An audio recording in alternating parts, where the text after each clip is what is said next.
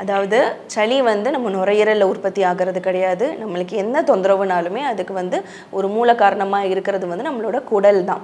குடலில் இருக்கக்கூடிய அந்த ஃப்ளூயிட் வந்து நம்மளுக்கு நுரையீரலில் போய் தேங்குது. அதனால தான் உங்களுக்கு திரும்ப ரிப்பீட்டடாக உங்களுக்கு சளி பிடிச்சிட்டே இருக்குது நீங்கள் சொன்ன மாதிரி இந்த பால் சம்மந்தப்பட்ட உணவுகள் பால் கலந்து காஃபி டீ இல்லை வந்து ஹார்லிக்ஸோ இந்த மாதிரியான உணவுகளை வந்து நீங்கள் வந்து கொஞ்சம் தவிர்த்துக்கிறது ரொம்ப நல்லது. தயிர் எடுத்துக்க வேணாம். தயிரும் கொஞ்சம் தவிர்த்துக்கோங்க. இதை நீங்கள் கம்மி பண்ணும் போது உங்களுக்கு நல்ல முன்னேற்றம் அடைகிறது இந்த சளி உற்பத்தி ஆகிறது வந்து நல்லா குறையிறத உங்களால் பார்க்க முடியும். மேலும் வந்து நல்ல வெது வெதுப்பான தண்ணியில் மிளகு போட்டு கொஞ்சம் ரெகுலராக எடுத்துகிட்டே இருங்க. தொண்டையில் இருக்கக்கூடிய அந்த சளி முழுமையாக வெளியே வந்துடும் இல்லை இந்த மாதிரி நசியம் நம்ம சுக்கு தைலம் இல்லை அணு தைலம் அந்த மாதிரி தைலங்கள் வந்து நாட்டு மருந்து கடையில் கிடைக்கும். அதை வாங்கி இந்த நசியம் பண்ணும் போதோ இல்லை வந்து மூக்கில் ட்ராப்ஸ் மாதிரி போடும் போதோ நல்ல சளி வெளியே வரதை உங்களால் பார்க்க முடியும்.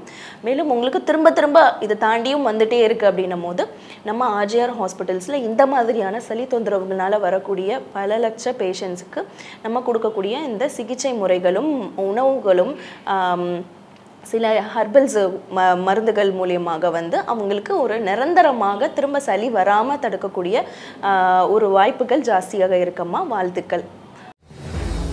மேலும் ஆரோக்கிய வாழ்விற்கு எளிமையான மருத்துவ குறிப்புகள் மற்றும் சிகிச்சை பெற்று குணமடைந்தவர்களின் அனுபவங்களை உடனுக்குடன் தெரிந்து கொள்ள ஆர்ஜேஆர் ஹாஸ்பிட்டல்ஸ் யூடியூப் சேனலை சப்ஸ்கிரைப் செய்து கொள்ளுங்கள்.